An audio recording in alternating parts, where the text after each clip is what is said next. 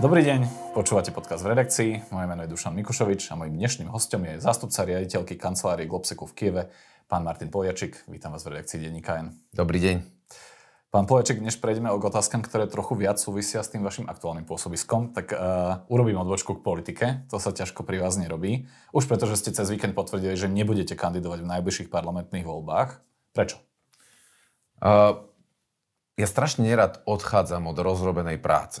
Hej, a práve teraz sme vo fáze v Kieve, kedy v podstate akože v tej našej kancelárii sme e, full time naplno zamestnaní traja ľudia a práce už máme tak pre desiatich. A zároveň vlastne, keď vyšiel ten náš report uh, Walking on Fire o odminovaní v Ukrajine, tak inštitúcie ako Európska banka pre rozvoj a rekonštrukciu, myslím, tak sa volá po slovensky, a aj samotná podpredsednička vlády e, ukrajinskej po prečítaní toho reportu nám vlastne sami od seba zavolali a povedali, že nič lepšie ešte na tú tému nevideli a vlastne požiadali o spoluprácu.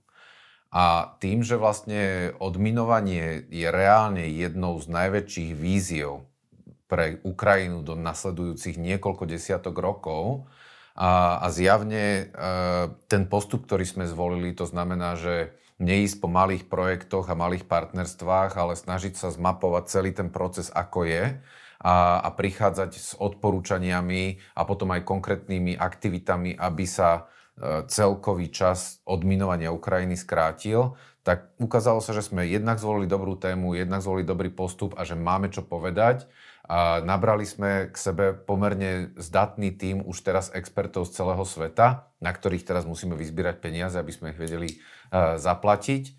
A m, prišlo by mi divné, uh, po tom, čo sme o, vlastne otvorili tie, tie dvere pre pomerne užitočnú prácu, od toho teraz odkráčať. Mm-hmm. Takže vyťažuje ma to na 100%, presne tak, som povedal, a, a tým, tým pádom som vlastne neriešil tú otázku kandidát, alebo nie kandidát. Zároveň ste ale vlastne sám v tom statuse naznačili, že niekto to môže chápať inak, lebo ste napísali, progresívne Slovensko je stále môjim domovským hnutím, má moju plnú podporu a chcem zaraziť akékoľvek reči o nejakých rozporoch alebo nezhodách. S ľuďmi v PS komunikujem, ak by som prejavil záujem, tak by som na kandidátke bol.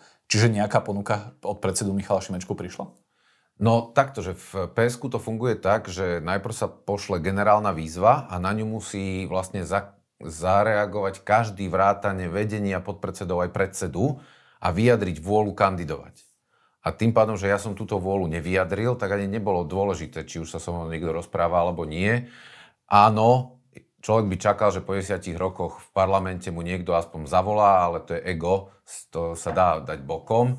A ja som sa s tou myšlienkou tej, tej kandidatúry nejak extra nehral, ani ma nikto neukecával a takto, že povedzme si, že ak progresívne Slovensko je na tom tak dobre, že mi ani nemusí zavolať, tak je všetko na poriadku. Hej? Zjavne je to silná kandidátka, a budú, bude tam kopec dobrých mien a to, čo som tam napísal do toho statusu, tam nejaký politolog e, v tom článku vlastne na Startitape písal, že mu to znie ako výhovorky a že v pohode by som vedel zvládať aj Globsek, aj kandidatúru. Ja už si nepamätám, aké to bolo meno, ale pán politolog zjavne nevie, čo sa stane človeku ako keby z, mimo politického prostredia v momente, keď ohlási kandidatúru. Hej. Akékoľvek rozhovory o odminovaní, akákoľvek popularizácia tej témy, podpora Ukrajiny, akékoľvek projekty v tej chvíli s mojim menom by sa stratili zo slovenských médií. Čo tiež nechcem, aby sa stalo. Pretože by ste boli jednoducho kandidátom no, PSK.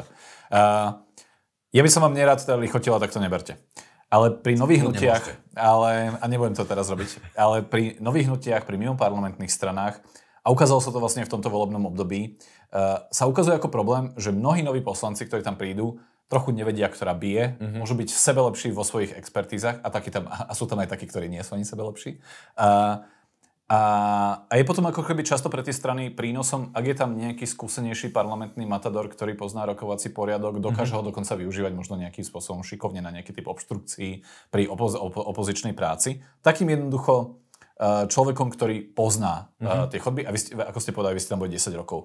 Čiže neboli by ste v to, minimálne v tomto prepesko dôležitým prínosom, že by ste boli takým Ondrom dostalom progresívneho Slovenska? Je tam Tomáš Valášek, hej, odkrútil si niečo v tom parlamente a tým, že bol sám na sebe, závislý teraz ako jediný, tak predpokladám, že sa musel zorientovať oveľa viacej do šírky, než by sa orientoval, keď bol zaradený v nejakom poslaneckom klube.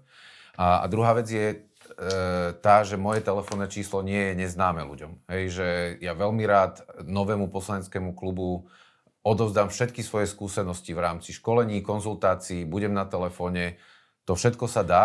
A, a áno, máte pravdu, že slovenský parlament trpí na, na akože nositeľov tradície, hej, taký, jak, jak bol Hruša, Palo Hrušovský, uh, Bela Bugár, uh, ľudia, ktorí naozaj, že si to tam odkrútili, Jofovi skupič svojho času a Ondro dostal, áno, je, je, je presne tento prípad. Uh, ale takto, že len kvôli tomu, keby som tam mal byť, tak e, myslím si, že to viem dostatočne nahradiť aj z tej ako keby konzultantskej pozície. To áno, ale v, tej, v tomto voľbnom období sa stáva, že naozaj že až, až online treba ako keby strážiť, že či nejaký pozmeňovák bol, bol, bol predložený uh, v súlade s rokovacím poriadkom alebo nie, lebo ani tý, uh, to vedenie schôdze to niekedy nevie ustrážiť. Mm-hmm. Ja sa mhm. pýtam na to preto, lebo vy ste v roku 2020 mali presne túto ambíciu.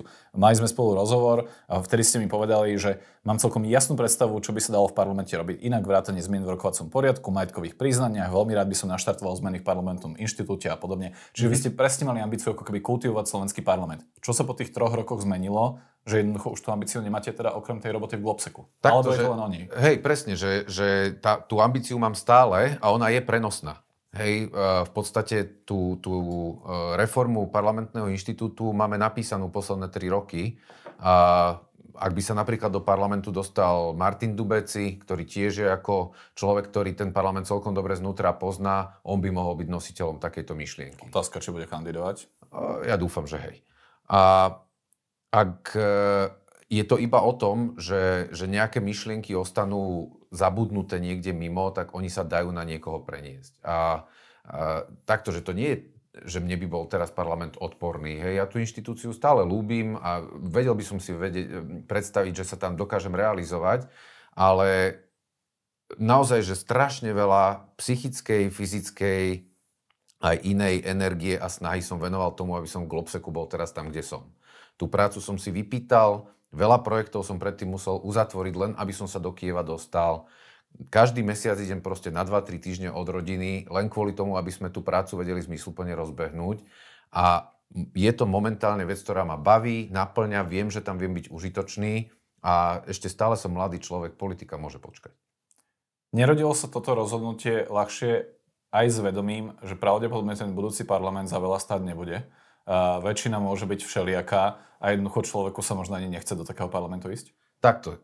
Pochybujem, že bude horší parlament, jak je teraz. Hej, že, že to je, no. to je ťažké, hej. Možno, že z pohľadu toho, tej rozbitosti a, a, a toho, mm-hmm. ale mhm. otázka je, že, že aká väčšina tam ešte bude, tá môže byť ako keby... Ja som v tomto optimista. Mm-hmm. Hej, že ja som to uh, niekomu hovoril aj včera, že ja si stále myslím, že progresívne Slovensko napríklad môže vyhrať tieto voľby. A že v momente, keď e, ten prozápadne orientovaný volič pochopí, že to je najsilnejší kvoň v tej súťaži, tak môže vystreliť. Podobne ako sa to stalo Zuzane Čaputovej, ktorú tiež málo kto čakal, že, že vyhrá vo voľbách. A tým pádom ja si nemyslím, že ten parlament musí byť až tak tragický. Áno, teraz to vyzerá čudne, ale ešte máme 4-5 mesiacov pred sebou, veľa vecí sa dá zmeniť. A PSK má fantastického predsedu, podľa mňa, konečne, takého, ktorý dokáže reprezentovať a, a potiahnuť za sebou dvojciferné výsledky. A Martin Burger, môj veľmi dobrý kamarát, robí kampaň a mám plnú dôveru v to, že to dokáže zvládnuť. Takže ja nie som pesimista a ten parlament si viem predstaviť, že bude uh, zmysluplne poskladaný a aj tá väčšina tam môže sa zmysluplne nájsť. A treba iba, a toto vidíte, to som sa naučil od tých Ukrajincov. Oni boli vo veľa väčších uh, akože problémoch mm-hmm. a, a niekoľkokrát museli cez revolúcie a strelby a krv a pot a proste obrovské problémy dokázať, že chcú niekam smerovať a napriek tomu sa toho držia. A my sme v podstatne lepšej situácii a bolo by mi čudné, keby s tým, že ich sledujeme v dennodennom priamom prenose, my sme tu išli teraz hádzať nejakú flintu do žita. To určite nie, my rozhodne nie sme v nejakej akože super tragickej situácii, ani sa to momentálne ešte akože nedieje uh, nejaké zásadné ohrozenie demokracie a, a možno, že aj tých, ktorí sa, pri ktorých sa bojíme, že vlastne nebudú mať potom odvahu na niečo také z rôznych dôvodov, už len medzinárodných a podobne. Vy ste na tom Facebooku napísali, že vám môže zavolať niekto, kto má pochybnosti, že či voliť PSK. Mm-hmm. Uh, čo sú vlastne vaše argumenty, že prečo by mal? Ja si myslím, že PSK hlavne odborne veľmi vyrástlo od, od tých posledných volieb a, a hlavne tie kľúčové témy, uh, zdravotníctvo, ekonomické témy, dokaz, uh, alebo vnútro, dokázali obsadiť, že silnými menami, ktoré si viem, že zajtra predstaviť, že, že idú do vlády a budú z nich dobrí ministri. A predtým na školstve sme mali Vlada Šuchu, ten už je teraz niekde inde, a, ale je tam Ingrid Kosová, ktorá by bola fantastickou ministerskou školstva. A máme na zelené týmy celkom určite najsilnejší tým, e, e, najsilnejší tým zo všetkých strán. A pri ekonomike Štefan Kíš hoci kedy môže ísť zajtra na ministerstvo. Zdravotníctvo, on, um, tento Oskar Dvořák, Oskar Dvořák ten, toho stiahli po voľbách priamo na to ministerstvo, aby robil zásadnú reformu, takže zjavne sa osvedčil. A to znamená, že aj keď sa ľuďom možno zdá, že stále PSK sa nevyjadruje e, k zásadným témam, má pre ne obsah aj ľudí. To je prvá vec. Druhá vec, myslím si, že došlo k takému základnému utraseniu, čo sa týka mocenských hier e, vnútri, vnútri vlastne tých štruktúrálnych pohybov vo vnútri toho hnutia. Normálne sme prešli výmenou od predsedničky k predsedovi a je to vyzreté hnutie, via, oveľa viacej, než bolo pred, e, pred tými troma rokmi. A vďaka vlastne skúsenostiam Miša Šimečku z tej medzinárodnej politiky a, a akože vyjednávať veci v Európskom parlamente není ľahká vec, a, tak vlastne sa prenáša už aj nejaká zrelosť do tohto. Áno, aj keď tie procesy sú tam možno, že štandardizovanejšie a práve, že vyjednávať veci v slovenskom parlamente bude ešte oveľa ťažšie. To sa ešte musí naučiť, ale znovu, má okolo seba dosť ľudí, ktorí mu v tom môže poradiť. Pozdáva sa vám aj tá kampaň? Nie je možno trochu stále opatrenícka, nie je za ňou trochu cítiť, že len nech nie sme my terčom, lebo keď si nás všetci nájdú, tak zase my padneme, tak ako si, keď, keď po nás išiel Igor Matovič v tom roku 2020 a spájal nás hocičím. Uh-huh. A pozrite sa, ja si myslím, že jednu výhodu, ktoré, ktorú progresívne Slovensko teraz má, je, že sa nemusí hrať na záchrancov sveta. Hej, že oni majú jednu povinnosť a to je osloviť prozápadného, prodemokratického voliča, ktorý to chce dať niekomu normálnemu. Ja viem, že s tými rukami, s tým pojmom sa tu máva z jednej strany na druhú, ale reálne, že príčetnému človeku to chce dať do rúk, pri ktorom nemusí stávať každé ráno e, spotený, že čo zase vyvedie. Hej? A takých tu máme dosť ostatných. Takže kým to bude o tom, že máme program, máme víziu, máme tým a dokážeme viesť krajinu, pre mňa to stačí. Jedna aktualita len z dneška. Uh, Eduard Heger, predseda strany Demokrati, ohlásil spojenie so stranou Jablko, vašou vlastne bývalou stranickou kolegyňou Luciou Diriž Nikolsonou, ktorá je uh, europoslankyňou. Toto spojenie vás neoslovilo? Nie sú, nemôžu byť oni um, dostatočným konkurentom progresívneho Slovenska? Môžu byť zaujímavým partnerom uh, na konci, ak to pre, uh, preklopia cez tých 5%. Ja som s okolností s Edom Hegerom niekoľkokrát bol v posledných dňoch, lebo vlastne bol na Globsec fóre a párkrát sme sa stretli, tak, tak žartom som mu povedal, že musí tú Luciu už presvedčiť, lebo inak bude mať Lucia billboardy, že ide voliť progresívne Že by dal na vás, hej, cez víkend. Hey, hey, nie, že ide voliť progresívne Slovensko. Ona to niekde povedala v nejakom rozhovore. Ona, povedala, ona povedala v ankete, myslím, že konkrétne pre denník N, že progresívne Slovensko je pre ňu najbližším, tak, najbližšou tak, stranou. Hej, no tak e, neviem, či si to zobral k srdcu, alebo už to bolo také rozbehnuté. Každopádne, ja ich rád vidím spolu. Ak to zvýši šancu, že sa preklopia cez 5%, je to príčetná alternatíva voči všetkému ostatnému, čo, čo tá slovenská teda scéna poskytuje. Z toho, čo ste povedali, tak vlastne vy, sti, vy od tých volieb neočakávate nejakú tragédiu. Tak som to dobre pochopil, hej? Alebo respektíve, čo je to očakávanie od toho, čo sa stane 33, na konci septembra? Uh, takto, že ja si myslím, že to môže dopadnúť úplne hociako. Že môžeme byť naozaj že vo veľkom probléme a, a mať tú polofašistickú vládu, kde e, Robert Fico, ktorý už zďaleka nie je tým Ficom, ktorého sme si pamätali uh, ako ťahúňa do európskeho jadra, čisto... Aj to bolo skôr verbálne, teda než úplne reálne? No však No počkať, ja si pamätám akože časy, keď ako reálni európsky hráči s ním počítali ako s možným šéfom Európskej komisie. Hej, že to, to priznám sa, že to, toto akože v pamäti nemám, ale určite ho brali ako relevantného akože partnera v Európskej únii, ktorý nie je problém. Áno, a európsky socialisti na ňo ukazovali prstom ako na vzor, ako sa dá aj socialistickými myšlienkami stále držať 30% v Európe. Hej, že to bolo 15 rokov dozadu, alebo 12. A dnes Robert Fico sa snaží hlavne vyhnúť base a tomu vlastne všetko e, podriadí a podľa mňa vďaka tomu bude schopný ísť do vlády aj s republikou. A v momente, keď tu bude vlastne slovenská sociálna demokracia, hej, teda národný socializmus slovenského typu, podporovaný všehoschopným blahom, v kombinácii s republikou a dajme tomu s Andrejom Dankom alebo s kýmkoľvek podobným, tak tam prestane platiť to, čo ste pred chvíľou povedali, že nám nič vážne nehrozí, tam nám bude niečo vážne hroziť. Hmm. Ale môže sa stať aj druhá vec, a že ten antisystémový volič zostane doma, čo sa častokrát už stalo predtým.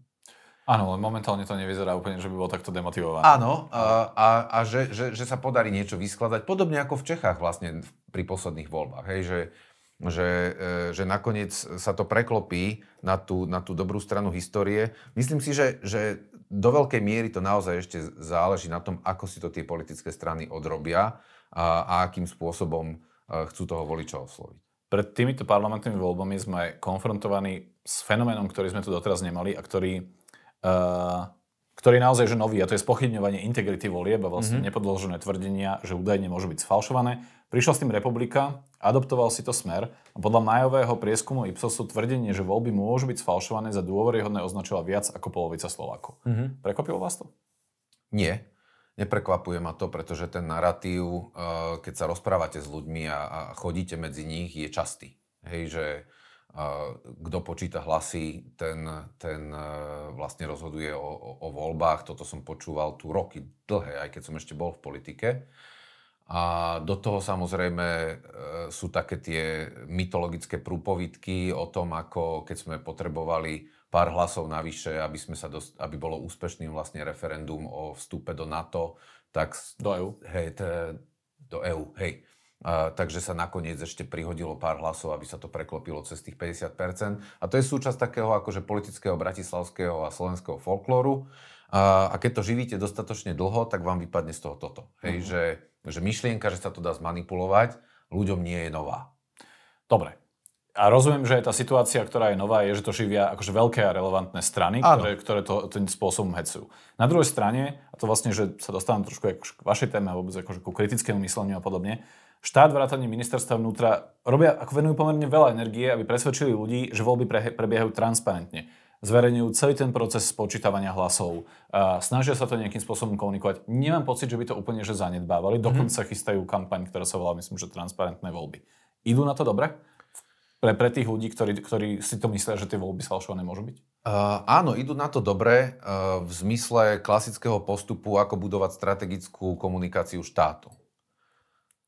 Naším špecifikom Slovenska je, že strategickú komunikáciu o, o témach, ktoré majú ísť naprieč celou spoločnosťou, kazia práve tí silní mienkotvorcovia. Hej, v normálnej žiadnej krajine by sa nemohlo stať, aby šéf jednej z najsilnejších strán alebo najsilnejšej strany spochybnil demokratické voľby. U nás sa to bohužiaľ stať môže. A tým pádom vlastne toto do tej e, strategickej komunikácie štátu, ktorá, ktorú by mali mať spoločné všetky inštitúcie, ktoré tú liberálnu demokraciu e, strážia, tak toto do toho e, zasahuje pomerne zásadným spôsobom, lebo človek, ktorý, ktorý také niečo povie večer v krčme kamarátom, nie je krytý len zemom a vekom a, a, a všetkými týmito hlúpostiami, ale je krytý predsedom a podpredsedom najsilnejšej strany a tým pádom jeho slovo má rovnakú váhu ako slovo predsedu nejakej inej politickej strany, ktorý tvrdí to, čo napríklad ministerstvo vnútra. OK. Existuje nejaká odpoveď na otázku, že čo s tým, že či sa dá robiť ešte niečo lepšie? Teda, lebo asi nepresvedčíme Roberta Fica, aby s tým prestal. No nie, tým pádom uh, musíme ísť do, do toho, že uh, vyhrať ten súboj. Hej, že v nejakej chvíli sa prestávame uh, už hrať na to, že ťaháme všetci aspoň v niektorých veciach za ten istý povraz. A, a presne takisto ako, ako pri téme kolaborantov s Ruskom je potrebné normálne si zadefinovať, že títo ľudia sú nepriatelia strategických záujmov tejto krajiny a podľa toho sa k ním musíme správať, tak presne tak isto sa treba v nejakej chvíli rozhodnúť, ako sa vymedziť voči ľuďom, ktorí spochybňujú demokratické základy tohto štátu. Dostanem sa aj vlastne samozrejme, že k tým otázkam, ktoré sa týkajú Ruska a Ukrajiny, ale ešte pri tých voľbách zostaneme, lebo tá stratégia spochybňovať voľby zo strany Smeru je podporovaná z rôznych uhlov. To nie je len o spočítavaní hlasov, o tom procese, ktorý sa mal nejakým spôsobom vyriešiť zverejnením zápisnice na stránkach mm-hmm. Obecných úradov, čo keby niekto sa ako keby v tom vyzná, zistí, že tam nie je naozaj že žiadny problém so zápisnicami a že, že pokojne boli k nahliadnutiu prístupné už predtým. Ale napríklad Robert Fico najnovšie rozohráva hru, keď hovorí o tlakoch zo zahraničia. Veľmi, mm. veľ, veľmi sofistikovane a múdro. Najprv kritizoval schôdzku 20 úradníkov s ľuďmi z NATO, teraz vlastne komunikačnú kampaň Aliancie. Dokonca si veľmi šikovne vybral nedelu uh, na, na tú tlačovú konferenciu. Musel vedieť, alebo respektíve na to, aby, aby, aby s tým prišiel, lebo musel vedieť, že jednoducho úrady asi nebudú schopné sformulovať nejakú reakciu počas toho dňa a on ten deň mm-hmm. ovládne. Je toto napríklad chyba, že nevedia tu, tie úrady sformulovať tú komunikáciu, alebo tú, tú reakciu za dve hodiny, alebo za tri hodiny dokonca aj počas víkendov? A znovu, ako ja snažím sa nájsť nejaké rady od človeka, mm-hmm. ktorý sa tomu venuje, že čo s tým, keď napríklad ide týmto spôsobom?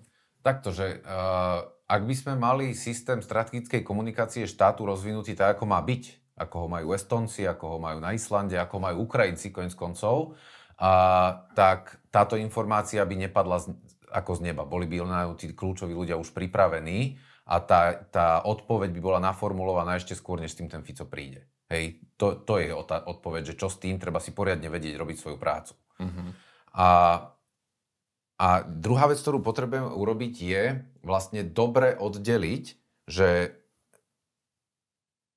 nositeľ toxického narratívu alebo človek, ktorý ohrozuje demokratické princípy štátu, je, dan, je daný jednou definíciou a politická opozícia je daná druhou definíciou.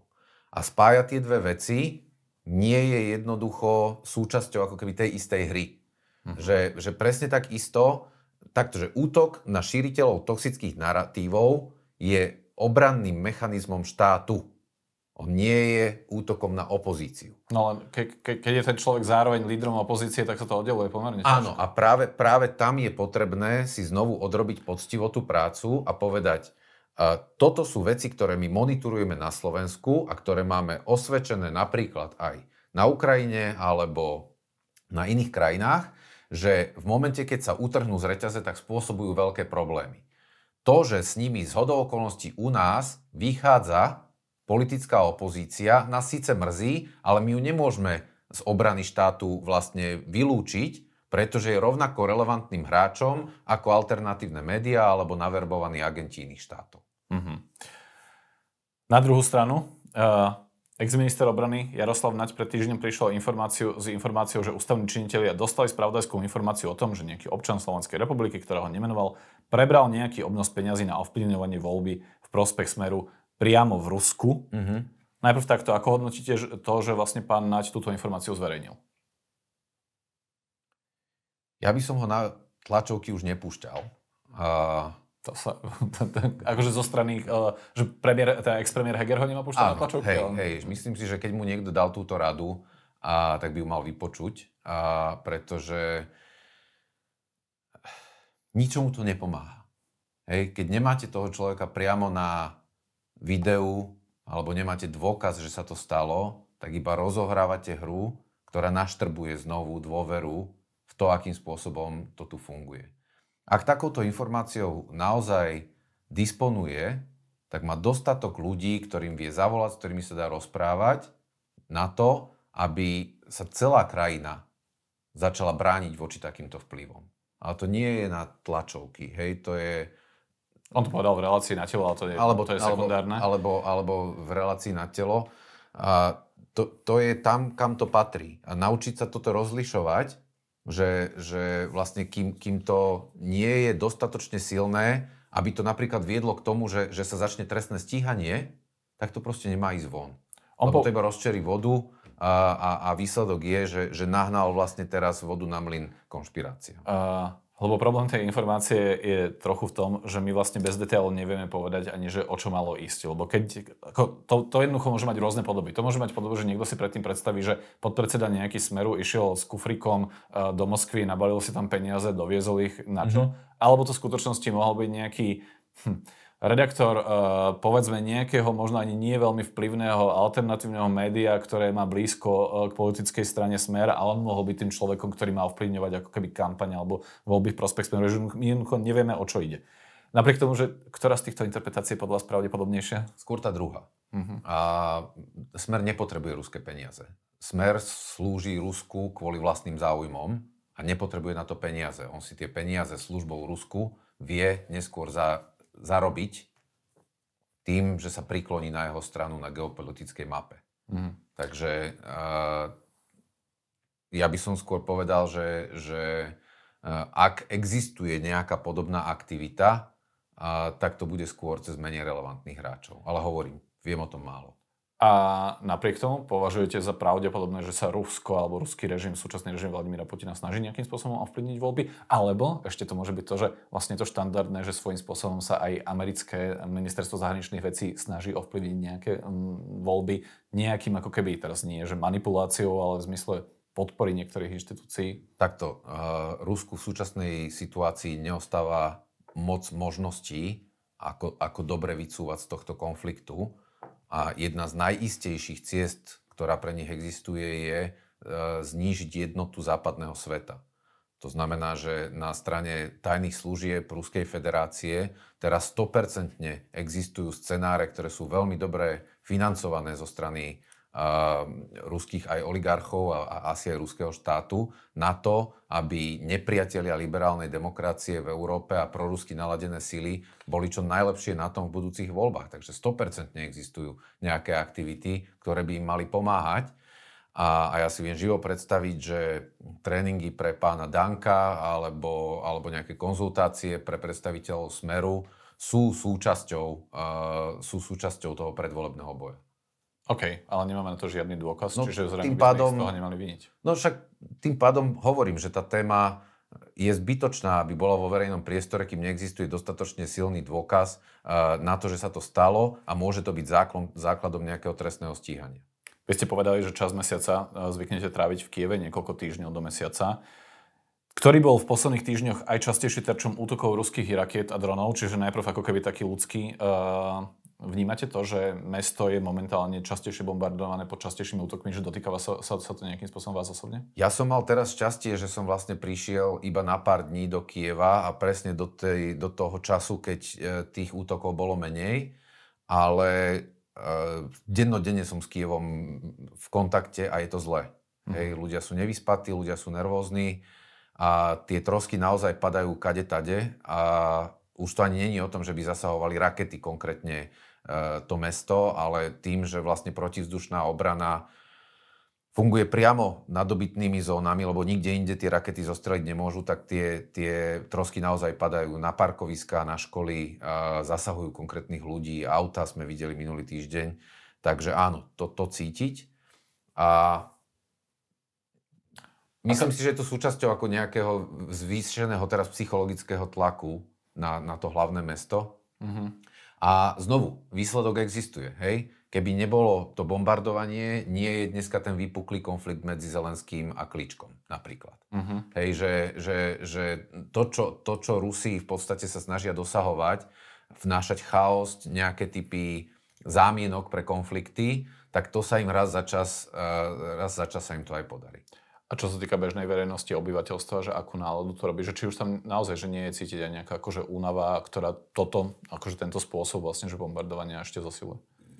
Ja mám z Kievčanov dojem, že sú práve že stále viacej nasrdení. Hej, že oni sú síce unavení a frustrovaní, ale o to väčšiu potrebu majú sa, sa s tými Rusmi na dobro vysporiadať. Čaká sa na tú pro, jar, veľkú jarnú protiofenzívu, o ktorej sa stále píše? Dá, ona bude letná, a to už vieme. A a už sa na ňu nečaká. Ja si myslím, že kto vie a, a trošku sa orientuje v tej téme, tak v zásade už len sleduje, že ako sa rozvinie tá ofenzíva. A my sme mali pred necelým mesiacom návštevu v Kieve, kde sme zavolali bývalého šéfa MI6 z Veľkej Británie. Mali sme tam bývalého generála, ktorý bol zástupcom veliteľa európskych vojsk, bývalú chorvátsku prezidentku, 20 ľudí. A zorganizovali sme stretnutia s ministerstvom obrany, vnútra, tajnými službami, so všetkými relevantnými. A nie len k odminovaniu, to bola ako vedľajšia téma, ale hlavne teda k tej nadchádzajúcej ofenzíve. A to, čo som si ja z toho odniesol, samozrejme väčšina tých vecí je tajných, ale je, že nemali by sme čakať jeden nejaký zásadný úder, mali by sme čakať kampaň, mm-hmm. ktorá bude dlhá, ktorá môže byť viac vrstevná, ktoré, v ktorej môžeme vidieť neočakávané zvraty. Hej, že mňa by neprekvapilo napríklad, keby uh, Presne tak, ako sa teraz vlastne preniesol konflikt na ruskú stranu vďaka tým ruským dobrovoľníkom hranice, a, tak keby sa rozhoreli nejaké menšie vlastne e, konflikty, ktoré by Rusov rozhýbali, že by ich nútili vlastne presúvať, e, presúvať vojska. Viem si to predstaviť v Gruzínsku, pretože gruzínska legia vlastne v, v Ukrajine je veľmi silná a veľmi dobre vytrenovaná. Ak by sa vrátili domov, rozohrali tam niečo, tak sa celkom určite o tom rýchlo dozvieme. A teraz vlastne sme zachytili signály, keď prezident e, Zelenský hovoril, že ak sa Moldavsko rozhodne, že chce oslobodiť zvyšky svojho územia spod ruskej okupácie, tak Ukrajina samozrejme na ten signál čaká a je ochotná pomôcť, ale na nich je, aby sa rozhodli. Takže je možné, že, že tá ofenzíva tak ako to bolo doteraz, bude hraná skôr uh, do šírky a potom môžeme čakať, že, že sa niekde prelomí tá línia. Bola by takáto stratégia dobrá z medzinárodno-politického hľadiska, jednoducho, ako keby, teraz to poviem veľmi hlúpo, že vyvážať ten konflikt za, za ukrajinské hranice. Ja rozumiem, že, že ako by to malo vlastne, že tú vojenskú pridanú hodnotu pre, uh, pre Ukrajinu, na druhú stranu, že nie je tam ako keby politické riziko, tak ako napríklad sa teraz ozvali mm-hmm. Belgičania, že, ktorí zisti, keď sa zistilo, že belgické zbranie boli použité na, na tie, neviem, ako to povedať, vyvolávanie konfliktu alebo mm-hmm. na mhm. tie strety v Belgorodskej oblasti?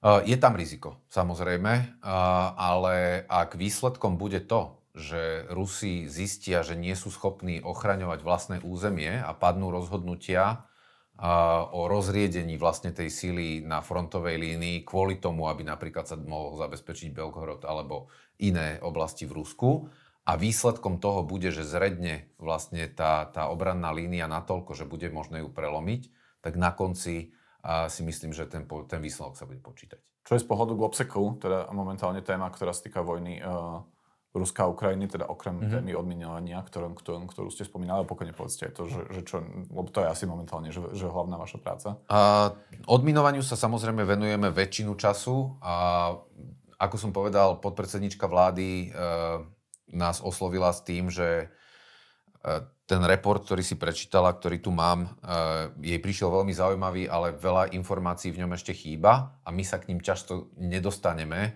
pretože nemáme vlastne zdroje, ktoré by nám ich dodali. My sme absolvovali cca 50 stretnutí so všetkými možnými ľuďmi, ale niektoré informácie sú na úrovni vlády. Takže vlastne tá spolupráca teraz spočíva v tým, že my sme si zadefinovali 19 oblastí, kde potrebujeme dodať dáta a tie, keď nám vláda dá, tak vlastne rozšírime ten report a napíšeme ho oveľa širší a, na základe toho potom pôjdeme do ďalšej spolupráce.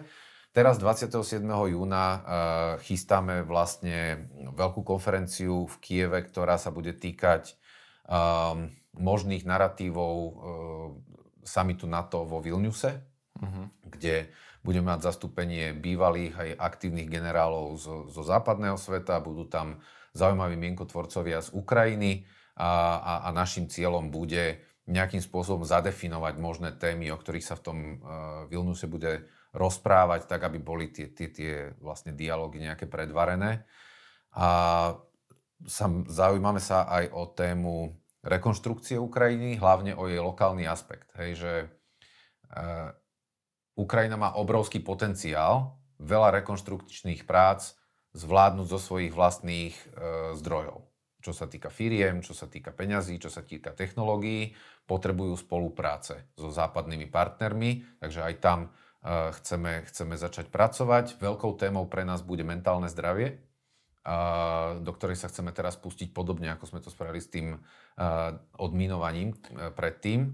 To znamená najprv nejaký širší pohľad a potom nejaké konkrétne odporúčania. Mentálne zdravie akože ukrajinského obyvateľstva. Áno, tak budeme mať v podstate 90% zrejme nejakým formom traumatizovaného obyvateľstva a, a to sa, to sa na, tej, na tej spoločnosti odrazí a keď sa to nepodchytí systematicky, tak to môže vytvárať veľké problémy do budúcnosti. Jedna téma, Globsec uh, koncom maja zverejnil prieskum, ktorý sa teda týka Slovenska, ktorý naznačuje ďalší posun vo vnímaní vojny, ktorú Rusko rozputalo medzi slovenskou verejnosťou. Podľa aktuálnych dát s verziou, že zodpovedné je Rusko, ktoré zautočilo na, na Ukrajinu, súhlasilo len 40% opýtaných občanov Slovenska. Vysvetlenie, že hlavnú zodpovednosť nesie Západ, lebo provokoval Rusko, zvolilo 34% a 17% povedalo, že vinníkom je Ukrajina, lebo utlačala po rusky hovoriacich obyvateľov. Mm-hmm.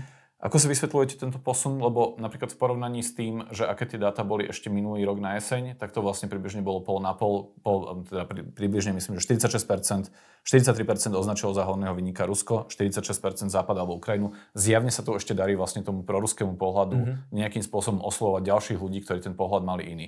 Čo sa to deje? Ja si myslím, že to súvisí s tým, čo som hovoril predtým, že tie toxické narratívy tu naozaj majú veľmi silných mienkotvorcov. A bohužiaľ, niektorí zástupcovia e, republiky a smeru patria k najsilnejším zdrojom informácií na slovenskom e, internete a sociálnych sieťach. A tým pádom, ak voči tomu neexistuje protiváha a ako keby tá, tá, tá oficiálna vládna strana je v rozklade, vládna myslím všetky strany, ktoré, ktoré majú reprezentovať nejaký príčetný pohľad na, na to, čo sa okolo nás deje, tak tie toxické narratívy, ktoré sú zorganizované, výborne na, naformulované a majú podporu zo zahraničia, tak sa im jednoducho darí. Čiže vlastne chýba nám skonsolidovaná prozápadná scéna, Presne. prodemokratická. A tá nám tu chýba od roku 2020. No, uh, ja sa stretávam často to aj s názorom, že niektorí analytici, alebo povedzme, že komentátori, že vysvetľujú tú silnú pozíciu proruských postojov na Slovensku akýmsi nejakým historickým vedomím Slovákov, že to už je od čas Štúrovcov a mhm. podobne. Mm-hmm. Uh, nie je to možno také príliš lenivé vysvetlenie povedať si, že Slováci sú proste takí, že jednoducho, že nevieme to uh, takto reagovať, lebo presne na tých dátach vidno, že tu nie je nejaký posun, že ešte minulý rok to bolo vlastne že iné, Aha. napríklad aj vo vzťahu k NATO a podobne, alebo že, že, že, že či to nejakým spôsobom môže hrať rolu ten štúrovský sentimentáž. Takto, že ja vždycky žartom hovorím, že Slováci v každom konflikte vyhrávajú, pretože e, bojujú na obidvoch stranách.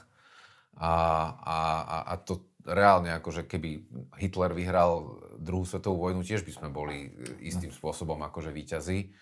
A práve preto je dôležité teraz zainvestovať, aby sme znovu výťazí boli na tej druhej strane.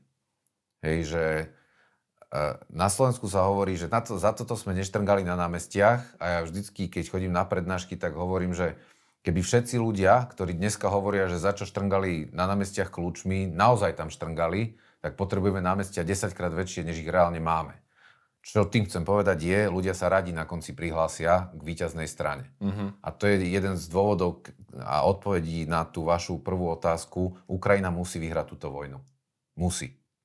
Pretože aj to, čo sa stane s touto krajinou, do veľkej miery závisí od toho, ako veľmi tí Rusi dostanú na držku. Uh-huh. Lebo ke, jednoducho ke... potom už chceme, budeme chcieť byť akože s tými, kto nakoniec No potom z ruských agentov sa stanú čínsky a proste Blaha sa otočí k Číne aj, aj s Dankom a všetko bude tak, ako doteraz, len proste v iných farbách. Ale ľudia uvidia, že tí Rusi naozaj si nabehli na niečo, čo nedokázali zvládnuť, že na to doplatia a tí, ktorí im tlie, teraz tlieskajú, tak radšej ostanú ticho. A potom je tá otázka, ktorou môžeme tento rozhovor zakončiť, že keďže vy v tom Kieve ste, sledujete to, aká je šanca, že Ukrajina reálne vyhrá vojnu a čo vlastne, že bude tá výhra? A, Ukrajina 100% vyhrá. Hej, Rusi už prehrali, otázka je len kedy. Uh-huh. A, a teraz je tá otázka, čo je výhra? Áno. Uh, tých možných scenárov, že, že, že čo to bude reálne znamenať, je niekoľko tie najčiernejšie v podstate znamenajú nejaký typ zamrznutého konfliktu typu Cyprus, hej, s, nejakými, s nejakými nárazníkovými zónami, a, a síc, a, alebo že Rusi teda ostanú ovládať e, Donbass a, a Krym. A tie lepšie scenáre počítajú napríklad s tým, že Krym sa podarí úplne oslobodiť, lebo sa podarí vlastne e, odstrihnúť Kerský most a, a, a pomaly ako keby vyschne uh, od, od zásobovania a, a Ukrajincom sa podarí ho znovu získať na svoju vlastnú stranu.